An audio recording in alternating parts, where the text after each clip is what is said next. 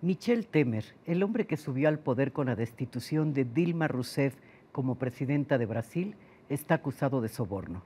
El Supremo Tribunal Federal llevó el caso a la Cámara de Diputados y si las dos terceras partes de los legisladores lo aprueban, podría ir a juicio político, como ocurrió con Dilma. Hasta ahora el presidente de Brasil ha salido bien librado de otras acusaciones y la coalición de partidos que lo apoya confía en tener los votos necesarios para evitar el juicio, pero los políticos suelen cambiar de opinión.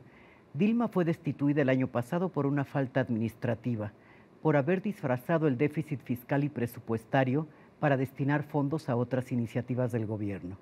El caso del presidente Michel Temer es distinto. Se trata de corrupción. Si algunos legisladores de su coalición le dan la espalda, Brasil tendrá otro presidente destituido.